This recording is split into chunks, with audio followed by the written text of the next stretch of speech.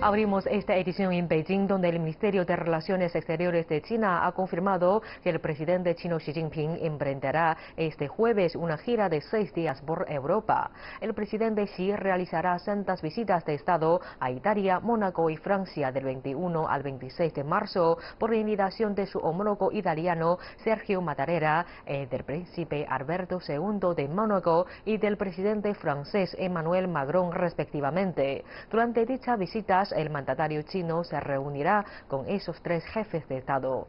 Este será además el primer viaje al exterior del presidente Xi Jinping en 2019.